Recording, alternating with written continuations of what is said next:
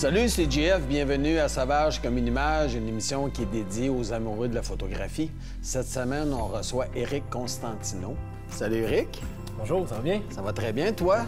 Non seulement tu es le premier invité de la saison, mais tu es le premier invité à revenir sur nos plateaux. C'est une première, ça aussi. Oui, c'est extraordinaire. ben, faut dire que tu as fait justement quelque chose d'extraordinaire. Oui, oui. Tu as fait, euh, moi, ce que j'appellerais l'ultime voyage d'un photographe, c'est-à-dire le tour du monde. Oui, oui. Est-ce que tu pourrais nous donner comment ça se prépare? Comment... On va commencer par le début. Comment ça se prépare un voyage comme ça? Parce qu'on est au quart de tour. Tu as fait ça sur une période de? Donc, le voyage a duré 30 jours. Pour faire combien de pays? Pour faire de 12 pays. Et donc, c'est énormément de préparation. Je me suis préparé au moins six mois à l'avance. Euh, donc, tous les billets d'avion sont achetés euh, avant, même les réservations dans les hôtels. Évidemment, vous allez vous dire 30 jours, ça n'a pas de bon sens, mais moi, je vois ça un peu comme quand on va dans un bar, on a le choix de prendre une pinte ou deux pintes, ou Mhm. trois pintes selon. Ou ben donc, on peut prendre euh, des petits verres pour goûter. Là. Donc, c'est un peu ça que j'ai fait. J'ai fait un tasters euh, de plein de pays sur la planète en même temps. Donc, juste des villes, pas, pas le temps d'aller dans l'arrière-pays. Donc, moi, j'aime la photo urbaine, euh, les paysages urbains, de toute façon. Tu allais chercher certaines icônes aussi. Oui, absolument. Euh, et puis, donc, c'est, effectivement, c'est beaucoup de préparation. Euh, même le- juste le, le sac de voyage, euh, pour être capable que ça coûte pas trop cher comme billet d'avion. Évidemment. Il faut voyager léger, mais on n'a pas juste pour le prix, mais au lieu d'attendre tout le temps dans les aéroports, ça va beaucoup plus vite. Euh, on n'a pas d'imprévu d'un bagage qui est en retard. euh, Qui se perd. oui, et qui se perd. Euh, on ne peut pas se permettre ça. Donc, tout fit dans un voyage. Donc, si on veut, la préparation, j'ai commencé il y a quelques années à me pratiquer à voyager léger et rapide. Donc, Ça, ça demande explication. Ouais. Donc, dans les dernières années, j'ai Oui. fait des voyages euh, un peu partout euh, à très bas prix. Quand j'ai vu les, euh, les compagnies aériennes comme WOW, qui, qui est maintenant la Ouais. défunte WOW Airlines, mais il y en a plein d'autres, c'est vraiment pas cher, mais il faut, voyager, faut voyager léger. C'est sous certaines conditions. Exactement. Donc, euh, moi, je me, suis, je, me, je me suis toujours dit, ah, j'aimerais ça, justement, être capable de voyager léger, euh, de ne pas attendre euh, sur- au carrousel pour les, les valises. Euh, si, admettons, j'arrive dans une ville, euh, j'ai un hôtel, ben normalement, quand j'ai une valise, je m'en vais juste à un hôtel et c'est ma base. Mais, euh, par exemple, là, je vais aller à Tokyo, ben, je vais aller dans cinq hôtels en deux semaines. Mhm. On peut transférer d'un hôtel à l'autre sans aucun problème. On n'a pas de bagage, on a juste un sac. Donc, euh, Mais quand tu parles d'un sac, tu parles vraiment du sac que tu as emmené avec nous autres. Parce que ça, vaudrait la peine que tu le montes à l'écran. Parce que moi, je croyais que c'était seulement ton bagage photo. Jusqu'à temps que tu me dises c'est ton bagage complet. Oui, je fais 30 jours avec ça sans aucun problème. Le truc, il est de ce côté-là. Le truc, c'est un bouchon de lavabo pour faire la lessive. OK. Et puis de la laine de Mérino. Euh, on est capable tes vêtements. de porter euh, des vêtements en laine de Mérino euh, deux, trois jours sans aucun lavage, il n'y a aucun problème, ça sent pas. Euh, même la première fois que j'ai acheté des bas, la madame, elle me dit Ah, la première fois, il faut que vous les portiez au moins pendant trois jours sans les laver. Êtes-vous sûr? Oui, oui. À la fin de la première journée, je sens mes bas. Ben oui. c'est surprenant. On peut continuer. C'est magique. Ouais. Ouais. Et évidemment que la question que les gens vont se poser, les photographes à la maison, c'est on amène quoi? Parce que déjà, moi, quand je pars en voyage, j'ai de la misère à savoir ce que je vais mettre dans un sac similaire à celui-ci, en tant qu'objectif, en tant que boîtier, parce que j'imagine que tu vas amener deux boîtiers parce que tu veux pas qu'il y ait rien qui brise là-bas, le but étant de faire de la photo. On s'organise comment? Écoute, ben là-dedans, là, euh, j'emmène pas deux boîtiers, j'en amène trois. OK? Évidemment, moi, je, je suis habitué avec un kit euh, DSLR assez gros, assez gros, assez lourd. Donc, j'ai changé de kit pour le voyage léger. Je me suis pris un kit Fuji. Euh, plus petit capteur, mais mon Dieu, c'est tellement plus léger. Trois boîtiers avec euh, cinq objectifs, un trépied. Le trépied est là. Je me suis fabriqué une tête panoramique pour faire du sphérique. Euh, on amène. Ça, c'est ça, c'est vraiment intéressant aussi, les espèces de petites pochettes. Toutes mes affaires de toilette sont là-dedans. Ça, toutes mes affaires d'électronique sont là-dedans. C'est, c'est comme rendu extrêmement facile maintenant de rentrer dans un hôtel, un sac à salle de bain, un sac sur la table de nuit, Mhm. on rentre, on sort, merci. euh. Mais il y a quand même une, une- une grande réflexion derrière ça, parce qu'une fois que tu es parti, euh, j'ai vu tes photos, euh, je les ai vues avant vous autres à la maison. Ce que je voulais dire, c'est que tu- la plupart des endroits que tu es allé, tu n'aurais pas pu racheter de l'équipement. Si tu oublié quelque chose, tu apprends à vivre avec. Ouais. Donc, tout est pensé, tout est avec toi. Sinon, Oui, oui, absolument. Tout est avec moi. C'est sûr que j'ai quand même fait des recherches dans chaque pays pour voir s'il y avait justement des fournisseurs de certains équipements. OK. Euh, il m'est arrivé une bad luck, justement. Euh, mon, mon ordinateur, euh, il, a, il a arrêté de fonctionner. Puis, euh, je suis allé dans l'Apple Store et puis c'était, juste le power supply qui était, qui était sauté. Je n'ai acheté Mais un, encore puis- là, ça fait la différence aussi, parce que euh, pas de laptop en voyage, malheureusement, là, ça devient un peu difficile. Oui, c'est, la, la moitié de l'affaire. hein. C'est ça, on perd le contact avec l'extérieur, puis on peut plus regarder nos photos. C'est Ouais, ça. L'édition d'image. Justement, en parlant d'images, je pense qu'on va commencer à regarder tes photos parce que je sens que les gens à la maison ont hâte de voir ce que ça donne, un voyage de 30 jours. Fait qu'on va y aller avec la première. Donc, euh, ça, c'est euh, mon arrivée tout simplement à Hawaï. Donc, euh, quand Tout simplement à Hawaï. Tout simplement, oui, c'est ça. OK. Ben, c'est que c'est un, c'est un port, euh, c'est un port, euh, disons, assez évident. Quand on fait un transpacifique, Oui. pour que ça coûte pas cher, souvent, les avions vont passer par Hawaï. Donc, j'ai un premier transporteur qui m'amène jusqu'à Hawaï. Pour pas prendre de chance s'il y a un retard pour mon deuxième transporteur qui m'a emmené en Australie, euh, je prends toujours au moins deux nuits euh, pour... euh, en- Tu donnes du sécurité, un buffer de sécurité. Là. Donc là, c'était tout simplement le, le- le bel horizon, une espèce de... J'aimerais que je, je prendre la balle au bon. Euh, quand on s'est parlé hors d'onde avant l'émission, tu m'as expliqué que la meilleure façon de faire un voyage comme ça, c'était de le faire à l'envers de ce qu'on croit. C'est-à-dire, Oui, donc direction ouest. Surtout si on le fait euh, rapide, euh, on a le choix d'aller direction est.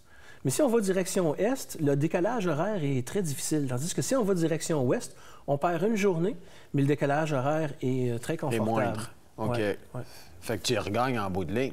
Ben, c'est un voyage beaucoup Qui est plus plus confortable. plaisant, Ouais, c'est ça. Exactement. OK, on va y aller avec une autre. Donc, on arrive en Australie, on connaît tous euh, l'opéra de Sydney. Oui, un classique. Mais j'aime bien euh, cette image-là. C'était euh, au Golden Hour, puis il y avait des beaux nuages menaçants en arrière. Euh, je me suis laissé aller. Puis moi, quelque chose qui m'a vraiment impressionné, c'est que je pensais que c'était une espèce de dôme de béton, mais non, c'est plein de petites tuiles de céramique. Ah, tu vois, c'était vraiment mon texture, impression, moi aussi, que c'était en béton. Ouais, c'est... c'est- je- J'ai appris quelque chose en allant là. hein. Ben, un début du voyage, on va y aller avec une autre. Ah, ici, on est à Singapour. Ça, c'est les, euh, les Super Trees. Donc, c'est euh, c'est vraiment impressionnant. là. C'est des, des, des arbres C'est énormes. immense, hein? Oui, oui. Le Singapour, c'est un pays, euh, c'est presque un paradis sur Terre, sauf qu'il fait tout le temps chaud et humide. Là. Très humide? Il, Oui. il doit y avoir des périodes pires que d'autres. Non, ah c'est oui, pas c'est mal, tropical, tout le pas mal temps, pendant toute l'année. ouais. OK. Euh, et la nourriture est vraiment bonne.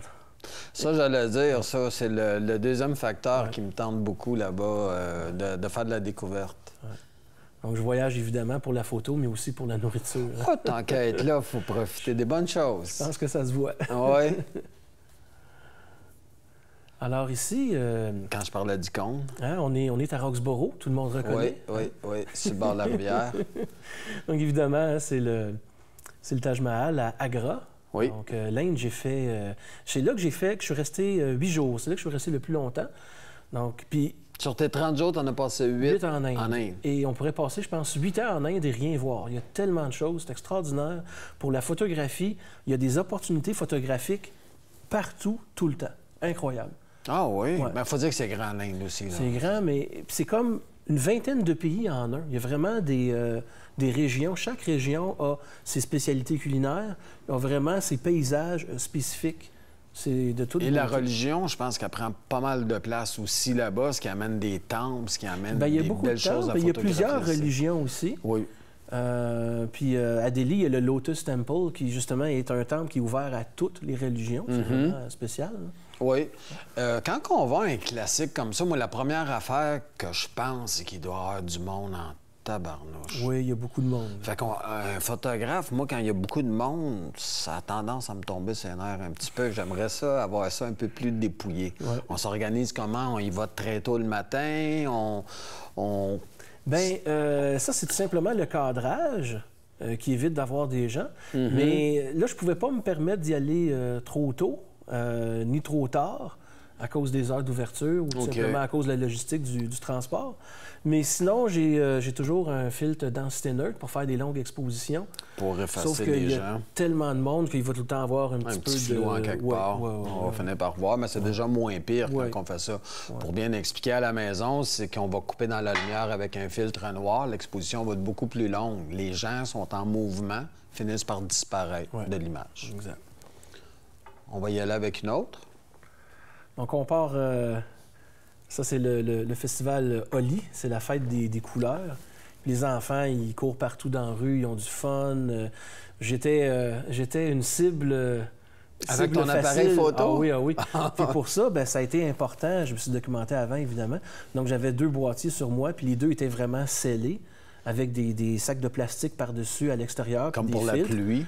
Comme pour la pluie, mais vraiment scellés là, avec du tape pour être sûr que la poussière rentre pas. Parce que Parce tu que veux ça- donc pas ça. Ça peut détruire des appareils, cette petite poudre. Un, puis c'est parce que t'es en voyage à part ça. Je veux dire, Ouais. t'as pas les moyens vraiment de perdre une caméra en voyage à cause de la, de la poussière. On peut en perdre une, mais pas deux. Non, c'est ça, ça, ça fait. Puis, est-ce que c'est aussi grandiose qu'on le voit ou c'est vraiment concentré d'un endroit? Parce que moi, il y a des fois que c'est Ah, ça en pas voyage. Ah C'est vraiment partout? Mais Non, non, c'est pas partout. C'est comme, euh, comme euh, les festivals, euh, n'importe quel festival. C'est ça, c'est vraiment- ben, c'est un endroit. OK, parce que, tu sais, quand on voit les images à la télé, on a tendance à croire que l'Inde au complet, pendant une journée de temps, ça, Ben, ça peut être des un peu comme la Saint-Jean. Tu peux avoir des, des, des, des- des regroupements un peu partout, tu sais, mais c'est pas partout. Là. OK, c'est pas at large. Ouais. C'est vraiment concentré dans un endroit. Puis j'imagine que pour les enfants, eux autres, tout ce qu'ils n'ont pas le droit de faire pendant l'année, ils ont le droit de le faire là. Fait qu'ils Je en pense qu'ils ont, profitent. ils ont- ils ont tous les droits tout le temps. Ah oui? Alors, on arrive à, à Dubaï. Ça, c'est le Burj Khalifa, le, le- le plus grand Ouais. euh, gratte-ciel au monde. Et puis, je m'étais documenté, justement. Là, je suis, au, je pense, au 56e étage euh, d'un édifice en face. Il y, a un- il y a une espèce de bar, là. Et puis, euh, j'ai fait une réservation euh, quelques mois en avance. Ils ont trouvé ça un peu bizarre. Un peu. Euh, puis, finalement, j'avais même pas eu besoin de, de réservation. Mais bon, on prend pas de chance. Surtout, t'es- tu t'es là quoi, une journée ou deux? Euh, Quand- deux quand- jours. Deux jours? Ouais, fait que non, tu veux Ça- pas manquer ton coup. Exactement. Puis dans ce temps-là, c'est que tu euh, à des heures différentes, puis ils t'achalent pas le fait que tu es dans un bar, de écoutez, là, on a besoin de votre place, ou tant que tu consommes, ils Il y t'achalent a pas pas, puis tu fais de la photo. Ouais, ouais. OK. Ouais, puis même, euh, mon Dieu, je, je voulais consommer plus, puis il n'y avait pas de pression. Non, t'avais OK, mais dans ce temps-là, on s'astine pas. Et puis, euh, je me disais, cette ville-là, elle a un côté, euh, comment je pourrais dire, grandiose, euh, un côté New York, un côté plus grand que nature. Exubérant, Oui. oui, de, la, de la démesure un peu comme Las Vegas, là. OK, oui. mais ça je, je dirais que ça a été peut-être plus de classe. Là. Euh, mais mais c'est aussi une ville de contraste. hein. Il y a le traditionnel, il y a le moderne. Il y a des gens, il y a des femmes, euh, disons, habillées euh, très sexy, puis des femmes en burqa. Il y, a, il y a vraiment les extrêmes. Mais tout le monde Tu veux dire à l'intérieur du pays ou à l'intérieur de la, même ville, elle-même? Oui, oui. Ah, Ouais. ça, j'étais un peu surpris. J'aurais pensé que ça aurait été plus euh, comme en périphérie ou des choses comme ça. Fait que les deux se mêlent ensemble. Oui.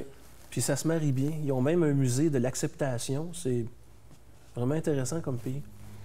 Parce que c'est du point de vue purement photo, on s'entend que c'est beau en tabarnouche. Puis quelqu'un qui aime moindrement faire de la photo de nuit, Ben, puis de l'architecture. l'architecture, euh, euh, non, non, il, il nous donne envie de partir demain matin. on va y aller avec une autre. Alors ici, on est au Koweït. Et puis euh, ça, c'est drôle parce qu'au Koweït, euh, il y a eu un, un retard d'avion. Et puis je devais aller prendre des photos des Koweït Towers. Euh, mais j'ai, euh, j'avais mon visa, tout ça. Mais avec un malentendu, ils m'ont hébergé à un hôtel. Mais l'hôtel, figurez-vous, qui est sur le tarmac. Donc il est, dans la zone internationale. Et je pouvais plus sortir de là. J'étais, c'est comme si j'étais comme séquestré à l'hôtel. Donc c'est une belle hospitalité, mais j'ai pas pu aller euh, dans la ville, sortir de l'aéroport. Fait qu'autrement dit, ton hôtel faisait que tu étais comme si tu étais dans l'avion. Donc, tu n'as pas le droit de descendre, tu restes là jusqu'à Ouais, temps. exactement. Donc ça, c'est la vue de la chambre d'hôtel. Bon, j'ai fait un petit cityscape. Là, c'est pas la meilleure photo, mais bon. euh, c'est ça, un voyage. hein. Des fois, il y a des imprévus. Oui, mais c'est ce qui fait que c'est plaisant aussi. Je veux dire, si ça tomberait toujours comme on l'a prévu, ça enlève un Ça peu fait du une plaisir. histoire à raconter. Par contre, quand je regarde ça, c'est-tu la qualité de l'air qui est comme ça ou c'est carrément... euh, autrement dit, est-ce que c'est vraiment brumeux comme ça tout oui, le temps? c'est- c'est très chaud. Euh, C'était sec quand même, mais euh, c'est quand même à des, des kilomètres, là, le, le centre-ville, là, avec OK. un téléobjectif. Euh, mais la qualité de l'air, non, c'était pas, euh, c'était pas fameux. Non? Non, OK. On continue. Oh! Un autre classique? Là, je, je dois... Oui, ça, c'est... Oui, ça, c'est l'icône des icônes. Pour moi, je dois t'avouer que s'il y a un voyage que je vais faire un jour, c'est celui-là, d'aller en Égypte. C'est vraiment impressionnant. compter. Ouais. Euh, puis tu peux prendre un hôtel à la porte là, des pyramides, tu es à, à peu près un kilomètre, là, mais tu, tu les vois devant toi. Moi, de ma chambre d'hôtel, j'ouvrais les rideaux, il y avait toutes les pyramides qui étaient là. C'est c'est Il y a quelque chose de fou là-dedans, là, Ouais. parce qu'on C'est- s'entend que ça fait des millénaires que c'est Ouais. là. Ouais. C'est aussi beau que c'était. C'est aussi grandiose que c'était. On comprend une partie de ça encore. Il y a un mystère qui est associé à ça. Puis du point de vue purement photo, c'est photogénique, Ah là, oui, ce c'est- secteur-là. Puis il y a plusieurs angles de vue, euh, c'est magnifique. là. Encore là, j'imagine que tu dois travailler parce que tu n'es pas tout seul à y aller. Fait que j'imagine qu'encore là, il faut que tu fasses des choix de couper un petit peu en bas, un petit Non, peu. mais c'est quand même bien. Il n'y avait pas tant de monde que ça. Puis les touristes qu'il y a un peu autour, bien, ça dépend de quelle face. Là. Donc, disons, la, la face vis-à-vis euh, des hôtels, oui, il y a pas mal de monde. Mais si on tourne, euh, on s'en va direction euh, du côté sud. Là. Parce que ça, il y a une vue. que tu vois la ville à l'arrière, on va éviter cette vue-là, Oui. évidemment, parce qu'on veut euh, ramener ça dans le passé. La vue classique, il n'y a pas trop de monde en avant. Sinon, il y a quelques mondes en chameau ou en, Ben, ou en ça, charrette. ça, ça ajoute, c'est ça, ça, fait partie du Ouais. Ah oui, ça, c'est un voyage que j'aimerais bien faire un jour. Je t'envie. Celle-là, là, je, je dois avouer. Est-ce que tu as poussé un petit peu plus loin dans la vallée des rois ou tu as fait Non, non, que non, cette partie-là? Pas eu le temps. euh, Je me suis concentré- vraiment sur les pyramides. OK. On va y aller avec une autre. Alors, de l'autre côté, la Méditerranée. On est vraiment dans les icônes. Ben oui, ben oui, absolument. Donc, le Parthénon, évidemment, sur- depuis la colline Philo-Papou. Euh, je ne sais pas si je le prononce correctement, là, mais Je pourrais pas te dire. Ma prononciation du grec est, est pas à point. Euh, ce que j'aime bien là-dessus, c'est que tu l'as photographié à l'heure bleue. Bien sûr. Ça nous donne vraiment un autre look que le look classique. De toute façon, de jour, la lumière est assez drue. Et Moi, les photos que j'ai vues, le ciel est souvent vide, pas de nuages. Fait que là, le fait de l'avoir euh, photographié à cette heure-là, je trouve que ça ajoute c'est vraiment le moment pour ce sujet-là parce qu'il n'y a pas beaucoup d'éclairage artificiel. Il y en a sur l'acropole, mais un peu partout, euh, il n'y a pas grand-chose. Donc, ça fait un trop haut contraste comme photo de nuit.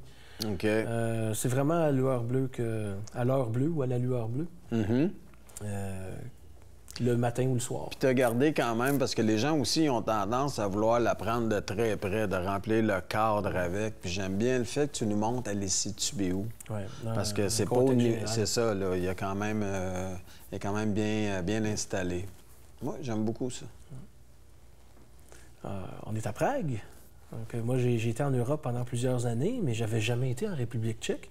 C'était resté euh, une destination que je voulais faire. À l'âge que t'as, là, ça t'en prend une coupe, Eric. Ben oui, Tu peux oh, pas avoir fait trois fois le tour du monde, là. ben, on ne sait pas, peut-être un jour. Hein? Ben, je te le souhaite. pas Quoi parce que faire je après le un tour souhaite du pas. monde? Un deuxième. Un deuxième. Un Ben oui, deuxième.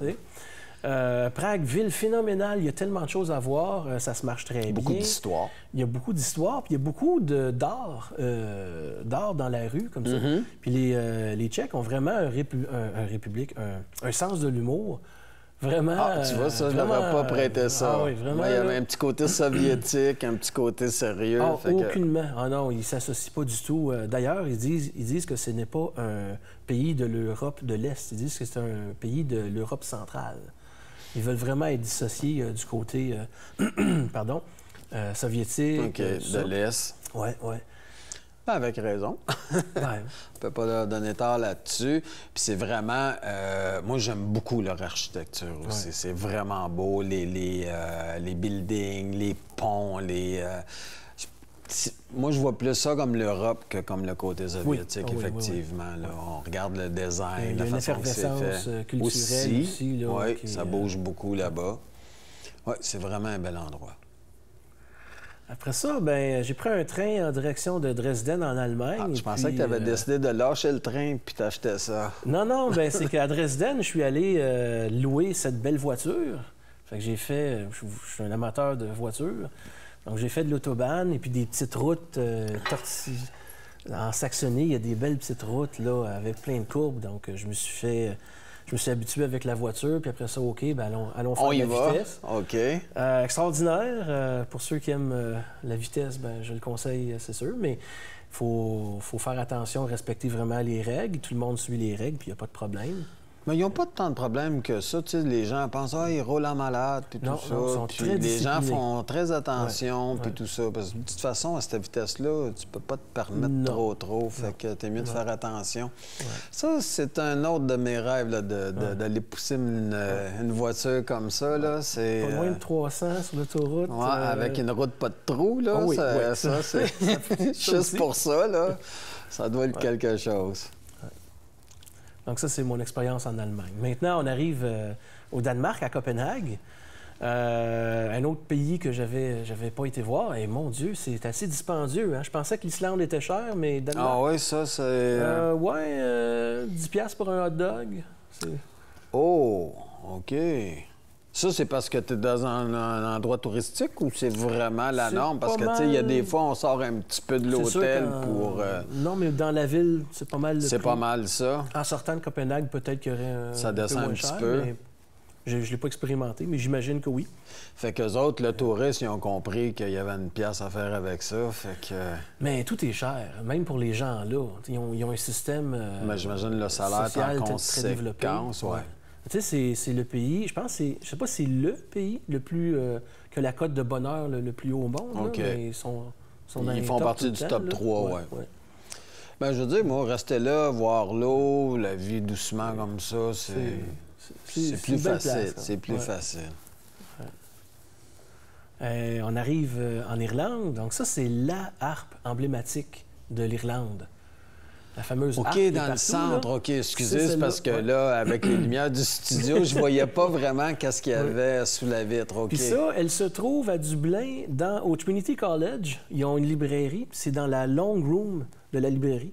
La long Ah, c'est même pas dans un musée, là. Non, non, c'est de la bibliothèque, ça, euh, du collège. OK. Puis le, le livre le plus récent dans cette salle-là, il date de 1897. Le plus récent. Le plus récent. OK. Maintenant, le plus vieux. Le plus vieux, je ne pourrais pas dire. Mais euh, ils ont, ils ont, euh, plusieurs euh, Ah, il y a de l'histoire là, là-dedans, là. Oui, oui, Puis évidemment, ben, qui dit euh, Irlande dit Guinness, dit T'enquêtes, là. une bouffe assez riche. Ah non, il faut en profiter quand on est en vacances. Et puis après ça, ben, après Dublin, ben, ça a été le, le retour. Donc ça, ça, ça a fait le tour, là, euh, 12 pays en 30 jours. euh, c'est du stock. T'en retiens quoi de tout ça? Parce Ben- que c'est vraiment quelque chose. un Il y a un côté challenge. Ouais. Il y a un côté, il faut que ça fonctionne bien. Il y a un côté, le, le côté organisationnel est important, mais il faut que tu aies du plaisir aussi. Il Ben oui, faut pas que ça. soit trop euh, militaire. T'en retiens quoi de tout ça? Ben moi, ce que j'ai trouvé extraordinaire, c'est que dans plein de pays, euh, j'ai vu des petits messages, des petits écriteaux écrits. euh, à un moment donné, j'étais en Allemagne, puis je soulève ma tasse de thé, puis il y a- un petit quelque chose d'écrit dans la soucoupe. Tous des petits messages comme ça qui disent Ah, la vie passe assez vite. Ah, euh, c'est important de rêver. Ah, il faut vivre ses rêves. Plein de choses. Puis dans plein de pays différents, c'est tous les mêmes messages.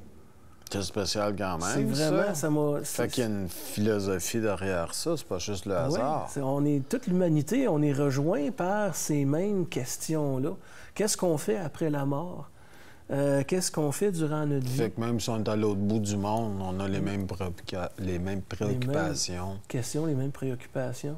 Puis, si tu avais à refaire quelque chose dans ton voyage, tu avais te dire ça, hum, pas sûr, ou ça, j'aurais peut-être pu l'ajouter, ou peut-être que tout a été comme tu le voulais aussi? Oh mon Dieu, il y a- plus on voyage, plus on veut voyager. Donc là, ben, je vais partir au Mexique euh, dans quelques semaines. Après ça, je m'en vais au Japon. Euh, au printemps prochain, je vais aller faire le tour de l'Amérique du Sud. Puis j'ai envie de faire un autre tour du monde. Puis qu'est-ce que tu dirais aux gens qui t'envient, qui sont à la maison, mais j'aimerais ça, faire ça? Ben, faites-le, tout simplement. Sortez. Oui, allez-y, foncez. Magasinez pour des billets d'avion pas chers, organisez vos choses. Euh, soyez prêts à faire des sacrifices, de ne pas tout amener, puis foncez. Il n'y a, rien, a rien qui nous empêche de faire ce qu'on veut dans la vie. Le fait de partir comme ça un mois de temps, on gère ça comment du point de vue social? Parce que tu es toujours tout seul, finalement, dans, souvent dans des pays que tu connais pas la langue. On apprend à se connaître sur un temps aussi. Je veux dire, il y a quelque chose qui se passe à l'intérieur. Mais moi, j'apprécie mes moments de solitude. Euh, puis quand on voyage, euh, c'est sûr que rendu le soir, je suis seul euh, dans ma petite chambre d'hôtel, tu sais. Mais on rencontre tellement de gens. Puis j'ai des contacts maintenant que, que j'avais pas. Ça t'aide à préparer d'autres voyages aussi, j'imagine? Oui, c'est la rencontre. c'est il n'y a, pas de limite euh, aux rencontres humaines qu'on peut faire. Ça, c'est le beau côté de voir les choses. Puis aussi, moi, ce que j'aime bien quand tu peux avoir du temps comme ça, que tu n'es pas pris comme dans une semaine condensée, c'est que euh, ça, donne toujours le, Comment je pourrais dire ça? Le, le fait de rencontrer des gens va t'amener à des endroits où tu ne pensais pas aller le contact humain quand tu es tout seul, veux, veux pas, tu sais, comme pas pris d'un carcan, tu suis un groupe ou tu es avec ta blonde, ça ne tente pas, c'est toi qui décides de tout. Puis j'aime bien ce côté aléatoire-là, que même si tu marches quand même sur une certaine séquence, tu peux quand même t'ouvrir à des choses qui arrivent à ce moment-là. ça, je trouve c'est un beau côté. C'est sûr qu'il y a beaucoup de planification. C'est comme pour chacune des destinations, j'ai une carte que j'ai dans mon téléphone, euh, avec plein de, points, des choses que je veux absolument voir, puis beaucoup de choses que c'est des possibilités. Donc, je peux aller faire... Euh, le plan B. le plan B, tu sais, puis toutes les rouges sont pas mal toutes faites. Les, rouges, c'est mes points que je veux absolument Important. voir. Puis les bleus, mes possibles, ben j'en fais peut-être la moitié, puis c'est correct. Mais euh, là-dedans, il y a une part d'aléatoire, de, chance, de rencontre. Mais il y a quand même pas mal de choses qui sont planifiées. Donc, toutes les, photos, là, de, justement, d'icônes, ben, je me documente avant euh, de quel angle, avec le soleil. avec Google Earth, des choses comme ça. Exactement. À quelle heure, quel mois. Parce que si on fait 12 pays comme ça, puis on veut voyager léger, il faut que le climat soit pas mal semblable partout. Propice pas ça. traîner un manteau d'hiver pour juste un pays, etc. Bien, écoute, c'est tout le temps qu'on avait. Eric, merci beaucoup. Tu nous as fait voyager. Je pense qu'on a vu plein de beaux endroits. Fait que je vous invite euh, la semaine prochaine à revenir à Sauvage comme une image. Fait que j'espère que vous avez apprécié à la maison. Puis au plaisir de se revoir dans une semaine. Merci beaucoup. Ciao.